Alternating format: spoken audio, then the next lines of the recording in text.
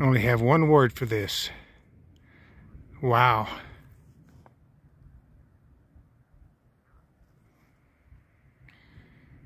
You gotta come out here and hike, people. Beautiful. Beyond beautiful.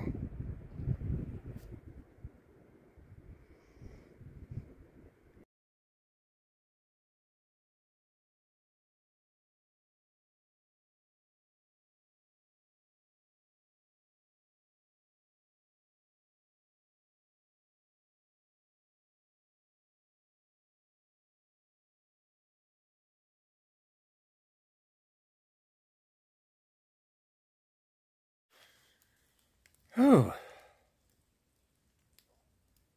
Howdy, hikers. What a uh,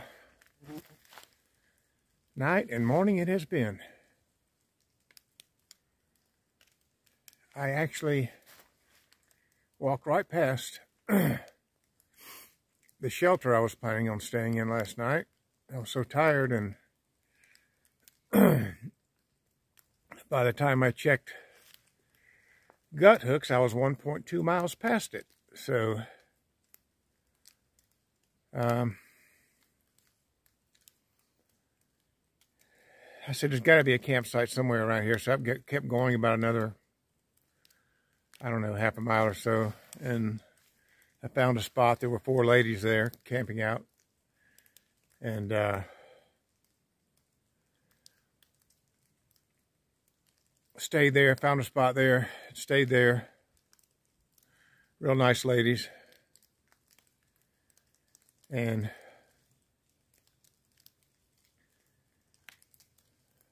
everybody said it's going to rain, it's going to rain, storms tonight. So we put our stakes in deep, put rocks on top of the stakes. And I'm glad we did because it was stormy last night. And the wind was blowing and uh, my little tarp tent held up. I'll tell you what. I was wondering a couple of times, but sounded like freight trains coming through. And I got up this morning, got everything up. It stopped raining long enough to get the tent packed up. Get everything packed up. All the ladies beat me out of, out of camp. No surprise there. And they took off. I left about 8.30 and then about 10 o'clock, the bottom fell out again. And it's been raining for the last couple of hours, but it rained pretty hard, thunderstorm for about 20, 25 minutes. And I just stopped on the side and uh, pulled my ground sheet out, covered up with that the best I could, waited it out. it wasn't terrible. a lot of lightning, thunder and lightning. But you have to hike in it sometime, right? So I just took my early lunch break and I'm going to try to make it to Dick's Creek Gap, I think is what it is, and um, hike up to a hostel there, which is five tenths, six tenths of a mile west. I talked to the owner this morning and he said he was filling up already this morning, but if I couldn't get a room or a bed, then he would let me camp out back and they don't have a lot of resupply there, but they do go into town in Hiawassee twice a day with a shuttle. So I think I'm going to do that if I have to take a zero because I got a resupply. I got only one day left of food, and I don't see a resupply down the down the uh, in the next couple of days, other than that one. So all right, that's the update, and getting back to hiking. Bye.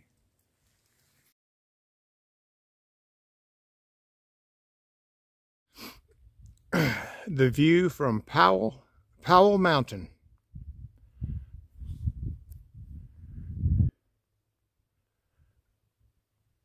Elevation 3733.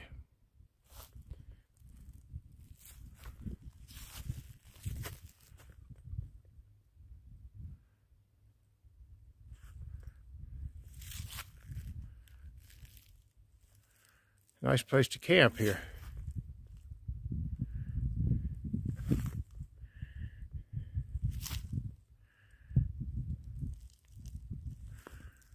Okay. On to Dick Creek. I have a ride going into uh, Hiawassee this afternoon. I didn't want to. I wanted to wait till tomorrow night, but there's no place I can get picked up. And the weather's going to get really bad Wednesday. Tuesday night and Wednesday, inch and a half of rain they're talking about, bad storms.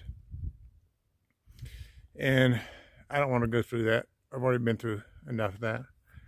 I got to resupply anyway. So, gotta go spend a couple of nights at Hiawassee and Grace. My ride will bring me back early in the morning, hopefully Thursday morning, so I don't miss too much. Give my legs a rest anyway, maybe I can make some better miles. There were a lot of people uh, at the last shelter and they're going into Hiawassee. So I didn't want to take a break this soon, but sometimes you have no choice. All right, I'll check back later. Happy trails, everybody. All right, climbing down the last mountain, and this is what greets me. Wow. I really hope I don't have to climb over that.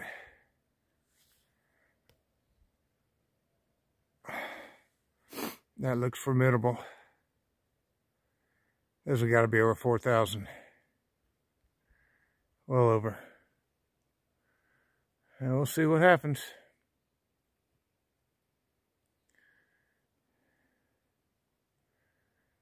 Have to go wherever the trail goes.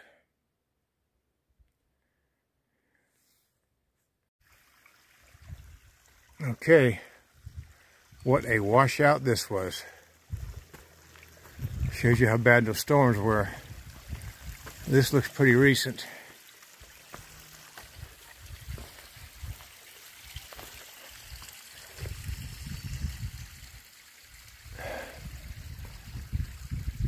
Started way up there.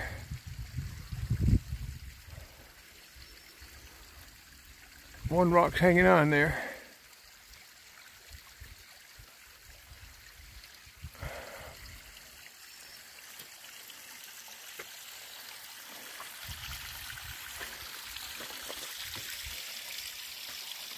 That's where most of the wood ended up.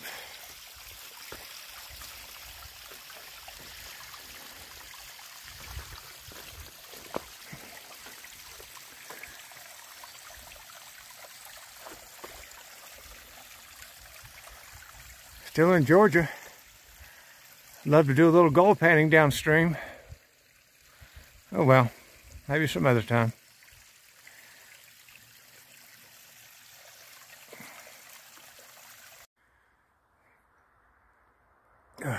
Okay, made it here a lot faster than I thought. Dick's Creek Gap, made it about an hour faster than I thought. I'm getting my legs maybe. Uh, so here's a tour. Nice campsite here. The Forest Service Ranger acted like they didn't want any people camping out here, but that's that's a nice spot. Nice and level, a lot of room for tents. I'm not sure about water. And then down the path here. I should have known when I heard the cars I was getting close, but I went three miles in about 3.4 in under two hours. It's about two hours. That's good for me. Dick's Creek Gap.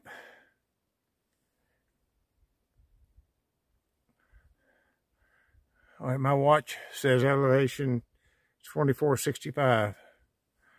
Okay, whatever. And there's something else down here.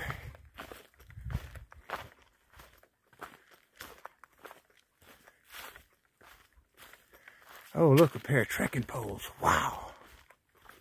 Wow. They're nice, too. I'm taking those. Get out of here before somebody shows up.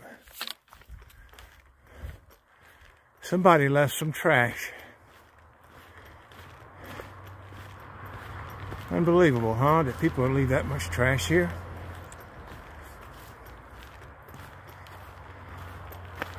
Wow. Incredible. But the boxes, they have drinks in them. These were saints. These are just trail magic, people. People leave it here, and you drink it, leave the can here, and then they come back and pick it up later.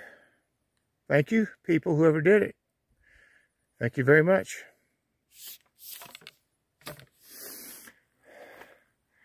And there we are, Dick's Creek Gap. I got an hour and a half wait for my ride. All right. Back later.